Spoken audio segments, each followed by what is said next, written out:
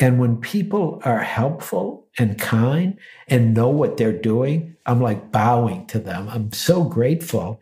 And so that's what our livelihood offers to the world, whether we know it or not.